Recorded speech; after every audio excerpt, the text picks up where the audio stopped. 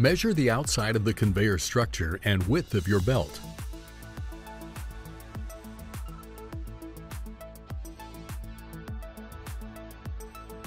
Verify the fitment of the cleaner on your conveyor structure.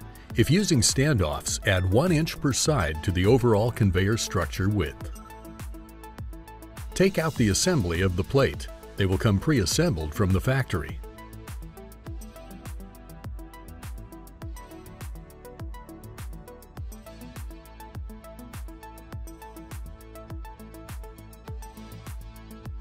Install the side plates and standoffs on each side of the conveyor structure.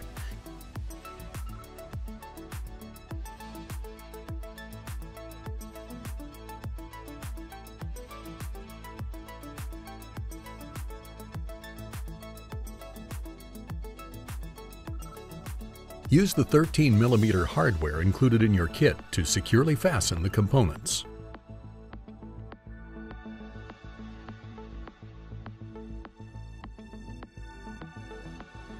Insert the metal shaft through the plastic bushing.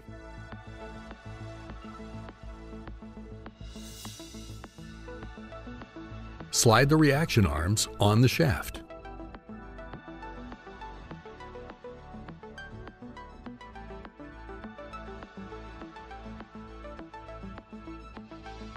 Verify that you have 5 to 6 inches, 125 to 150 millimeters of shaft extending past the side plate to accommodate the tension mechanism.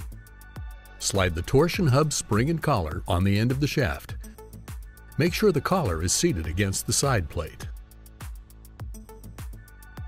Adjust the torsion hub to maximum adjustment and inset the set bolt.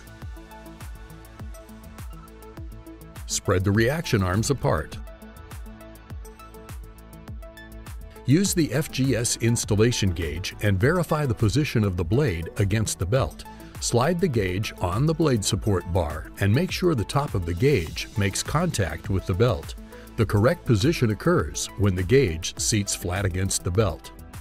Insert the blade support bar assembly inside the spline of each reaction arm. Make sure the bar is in the same position on both arms. If the bar is misaligned, cleaner performance degradation can occur. Verify that you have at least 1 inch 25 millimeters of bar past the reaction arms. Install the 13 millimeter screw and nut on the collar.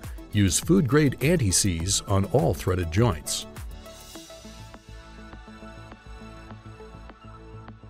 Tighten the reaction arm nuts until seated, plus one quarter of a turn.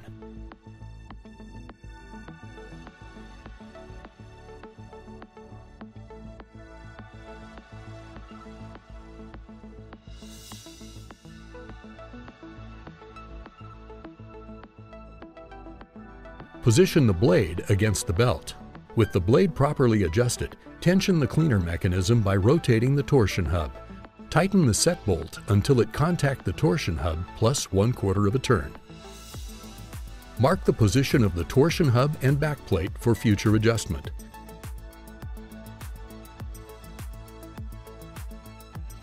It is also recommended you mark the position of the blade support bar on the reaction arm for future reference. Run the belt for 15 minutes and inspect your work.